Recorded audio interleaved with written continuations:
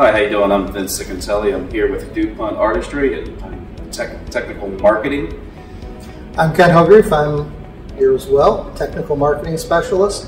Um, we're going to talk some DTG today, but just really quickly, we're sitting here in the DuPont Global Innovation Center, where a lot of really smart people do a lot of really smart things. Uh, we're kind of gr grateful to be here with uh, with this group, and we're going to talk some DTG over the next uh, couple of minutes.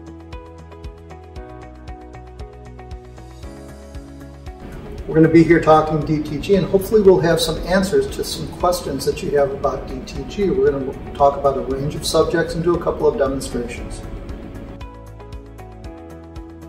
So Vince, uh, you've been doing a lot of work here, printing some shirts. Uh, we have some colored shirts. Uh, we have white bases with pre-treated. We have some demonstrations on pre-treatment. We, we also have a, a, white shirt here that looks great. Um, one of the questions that I get often is do I need to pre-treat my white shirts and what do I need to pre-treat them with? So you do not need to pre-treat your white shirts, but I would recommend it to have this vibrant color. Um, our P, P5010 is a great product that can help you along. It's non-staining. Uh, your print comes out very, very vibrant. Uh, and your wash fastness is great when using our product. Oh, that's great. So Ken, um, you've been around in this industry for a, a good bit of time. Um, Longer than I like to think about. so let me ask you, how important is the quality of your shirt? You know, it's one of those things that people don't take into account as much as they actually ought to. Um, if you go out into the blank sites, there's a really wide range of, uh, of costs and quality on shirts. And the temptation is to always go to the lowest quality shirt which is good for a lot of industries. But if you look at some of the higher quality shirts, the ring spuns, the lighter shirts, particularly short shirts that have been ring spun and combed, will end up with a very smooth, flat surface. What that allows you to do is to have a much better surface to print on. That print is going to look smoother, it's going to resist, resist some of the fibrillation, the, the fibers that stick up off of the fabric because they've pretty much been all taken off.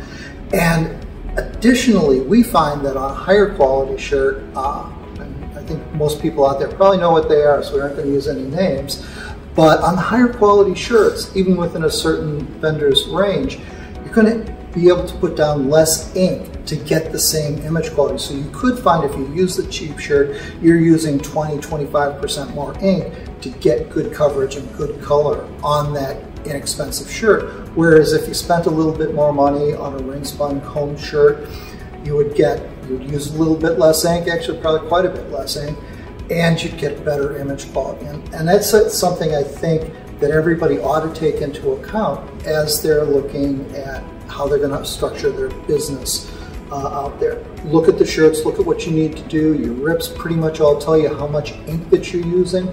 So go in and take a look at those things.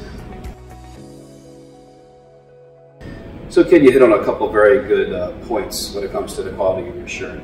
Uh, you also hit on you could possibly use uh, less ink and still have a very good quality. Um, will that also work with the pre-treat? Yeah, actually our recommendations are that you're going to use about six grams less, sometimes more. When you have a high quality shirt, you don't have to put down as much pre-treat for coverage there. At the end of the day, that may be, might look like a small cost, but we've worked up some models that say over a year, particularly in a high production shop, using a few grams less of pre-treat on every shirt is actually going to save you a, a substantial amount of money. That also reminds me of one thing. Uh, you know, we all think that cotton is cotton is cotton. And that's not necessarily true as I've been out in the market. And one of the things that uh, Vince and I recommend to people is that once you decide what you're going to use for shirts, even if you use a couple of different brands within your shop, always test on your shirts. We have shirts that we use and we try and uh, test on as many of the major brands as possible when we're developing inks, but we're not going to hit all of them. So whether you're working with DuPont or even if you're working with any of our competitors, it's really important that you understand how that system, that printer, the pre-treat, and the specific shirt, the ink, are all going to work together because it's not just separate things there. It's a system that you're using to make a final product. So can't stress enough that when you get your new printer in or you're adding a, a different print system, make sure you're testing in your shop, in your process, on your shirts. Uh, so with all this out here, um, you were talking about shirts and and different manufacturers. And when you go onto the websites, you see blends, tri-blends. There's a lot of choices out there. Will these systems work with blended polyester shirts? So yes, the systems will, but the inks designed also will work work with your uh, your poly blend shirts, your tri blends, um, your 6040s. Uh, also, our P5010 it, it will work with uh, white polyester. The washability is great with them. Your in-use properties is great with them. So about polyester, um, tell me a little bit about your products in polyester fabric. Well, right now the P5010 pre-treatment allows us to print on 100% polyester white garments with the current P5000, P6000, and P7000 ink. So it's a really good, good product for that. As far as dark polyesters go, uh, we're always innovating. And There's got a lot of smart people in this innovation center here with us. And we've got some things that we're looking at, actually not even looking at, that we're well along with in our labs that we think will be game changing. Different way of looking at pre-treatment. So stay tuned for that. So you talked about innovating and on products within pre-treatment. What about the existing products we have now and products that we have rolled out in the past year? Um, so we continue with our, our flagship products, P5000, P6000, and P7000, which are great inks for industrial applications. Support Supporting supports a lot of different print heads, everything from Kyocera to Epson to Dimatix. We pretty much have most of the industry covered on industrial systems. One of the things that is new that has just come out are a range of, of inks for the personal promotional market. So if somebody's not industrial, they just need to print, you know, 10, 20, 30 shirts a, a, a day. They don't need the flagship product. We have the EF and G series inks. The EF and G inks are, are aimed at that personal promotional market, and um, they're, they're value inks. They're still incredibly high quality, good color, good jetability, but they're there for the more value conscious customers that are out there. The other thing is we see a lot of new technology coming to the market and we're in touch with most of the major innovators out there in the market from the printer uh, side of things. So we're constantly working with people who are coming out with new printers. I think if you were at the last ISS, you saw a couple of really exciting new printers that were running DuPont inks. We continue to make a heavy investment in print systems, in print head support, all of those types of things to make sure that every time a new innovation comes out, a new system comes out, you've got a DuPont product that can work in there very quickly that you can get from the OEM or from a distributor.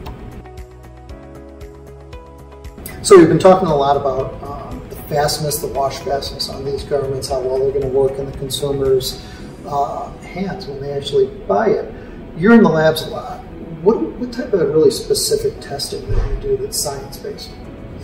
So what we do is we, we stick with the ISO standards of wash fastness. We do um, light fastness testing.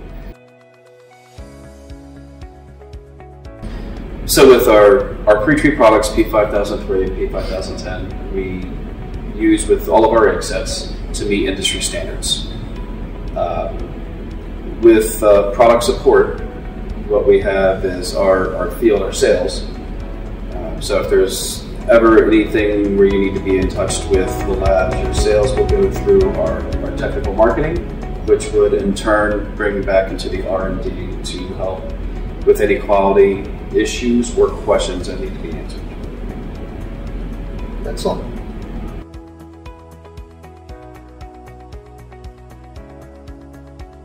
So, get a few questions. Uh, actually, one of the main important questions how important is your file for your printing within direct digital printing? Uh, you know, there's a, a, an old, old computer term. I'm kind of an old, old computer guy. uh, that was big in the early days. It's called garbage in, garbage out. And it's still true today. If you get a low quality image and there's really nothing that the RIP or the system can do to make that, that easier. Uh, I've literally been at customers who downloaded tiny little GIF files and sent it to their printer and couldn't understand why it didn't look good. So file prep is huge. And getting the right files in, making sure that they're high resolution, at least 200 DPI, 300 DPI if you can get them, very important. Um, if you're creating files yourself, that's also a place where you can, can differentiate. Um, one of the things that I say to customers that I work with, uh, one of my areas of expertise is color and color management. Of the things I talk about to people a lot about is what gives you the best color spaces. If I'm creating images in CMYK space, that's a fairly compressed image space. There aren't as many colors there because it's aimed at offset presses, which are historically kind of low color quality platforms. RGB, on the other hand, which is designed for monitors, gives you a very large color space. And whenever possible, when you're making your own uh, files or customers coming to you and talking about, you know, what, how should I give stuff to you, make sure you're talking about RGB images created in RGB. You're talking about high quality images. Anything that's nicked off the web, you know, buyer beware. There is some good stuff out there.